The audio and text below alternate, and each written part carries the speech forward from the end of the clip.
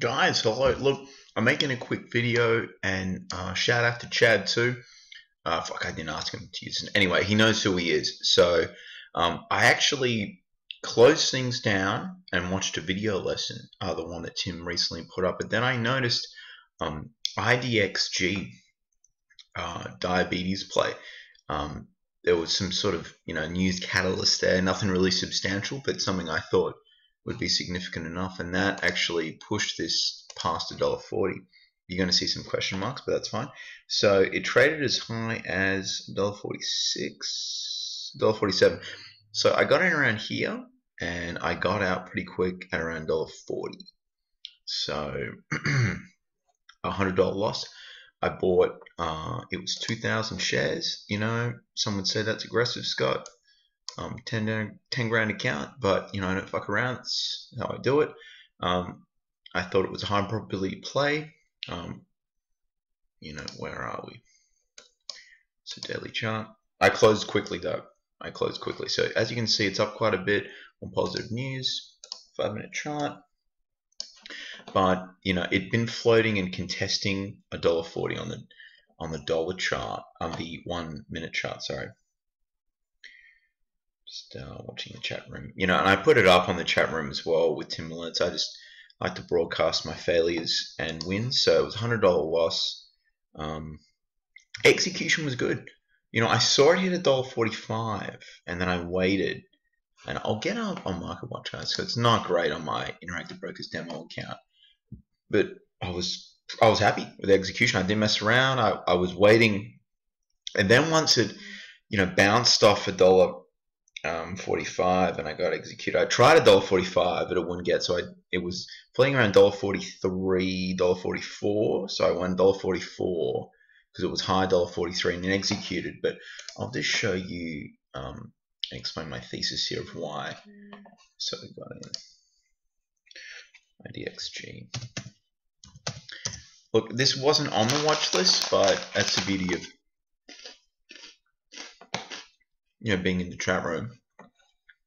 And it's still floating around $1.40, which is a bit frustrating, you know.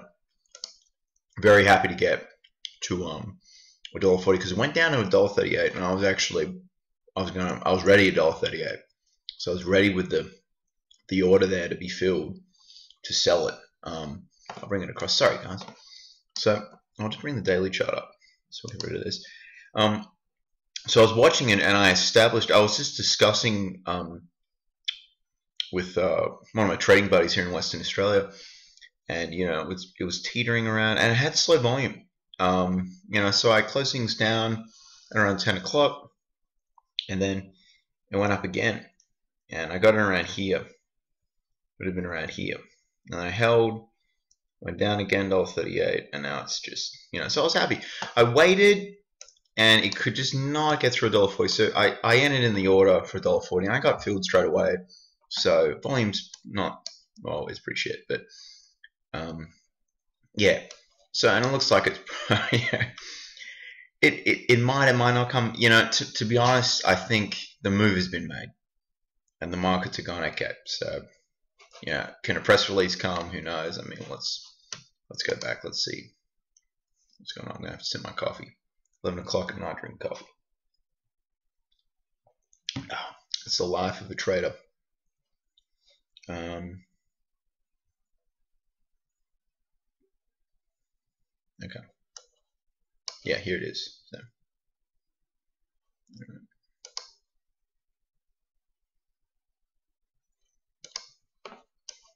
So it was more of a, um, a pre-market buy. All right, so it was a dollar, dollar and eight. So there was a bit of pre-market activity, and so it got up to